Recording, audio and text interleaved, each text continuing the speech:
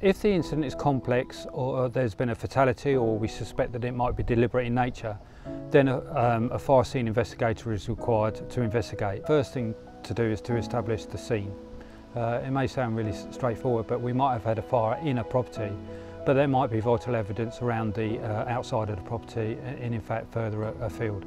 We do a lot of liaison with uh, agencies and, and other interested persons at fire scene investigations. Uh, we talk a lot to um, people who own properties, um, residents, uh, owners of businesses, because it's really important to engage with them at an early stage. Firstly, to reassure them as to why we're there, uh, that we're there to determine the cause and not to apportion blame, which is really important. Um, and if it is deliberate, um, that what, what the next stage of the process might be, but also to get really vital evidence that we wouldn't be able to get um, without their assistance.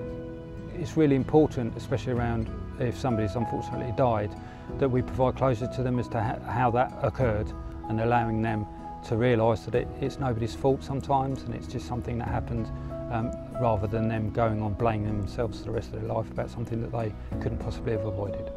So one of the biggest uh, benefits that we provide as a team is to report on accidental causes of fire.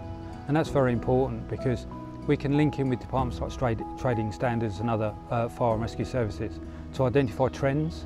We know that uh, trends and technology moves at a pace, um, so we need to make sure that our firefighting tactics and procedures um, are adaptable and can deal with those uh, issues so that we can ensure that we are protecting members of Kent and Medway.